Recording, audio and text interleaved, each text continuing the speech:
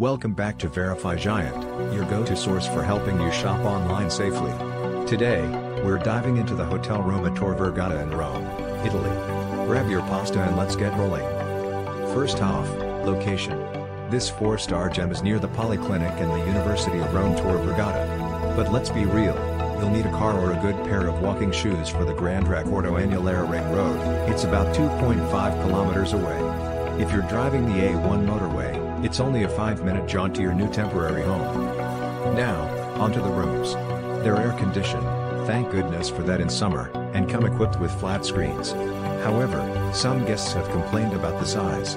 One traveler said, it felt like I was trying to do yoga in a broom closet. Keeping it zen might be challenging. Let's talk amenities, there's a nice outdoor pool, perfect for cooling off. But don't expect a luxurious spa experience. The gym is fully equipped, but if you're hoping to lift weights bigger than your luggage, you might be a bit disappointed. Food-wise, breakfast is touted as mostly sweet stuff. So, if you're into pastries and sugar highs, you're in luck. But dinner? A la carte, and some say it's fine but nothing to write home about. One reviewer proclaimed, I'd rather eat a cardboard pizza. Service?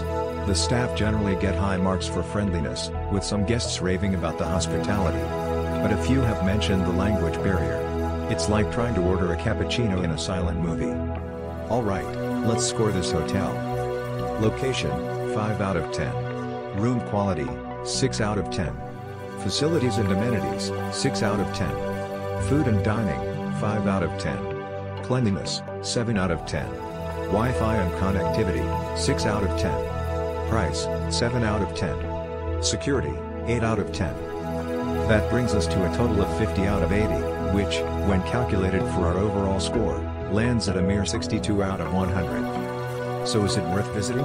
If you're searching for something luxurious, keep scrolling, but if you're on a budget and just need a place to crash near the university, it might just do the trick. But hey, make sure you bring your own snacks.